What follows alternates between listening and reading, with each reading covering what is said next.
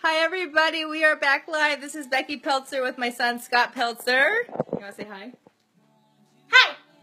So the challenge was to get our room cleaned within 10 minutes with the essential oil helping motivate is the name of it. So I'm going to flip the camera and you can see what he's gotten done in 10 minutes. Okay, here we go.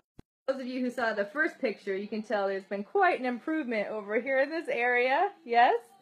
And his bed is way better than it was. Right, Scott? I don't like that.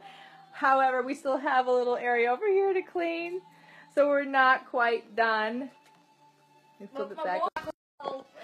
So, anyways, uh, 10 minutes is not quite enough time for my son to get his whole room clean, but boy, oh boy, have we gotten a lot done. And if anybody knows my son, Scott Peltzer, we do not get things done in a fast mode. So this has been a pretty awesome deal.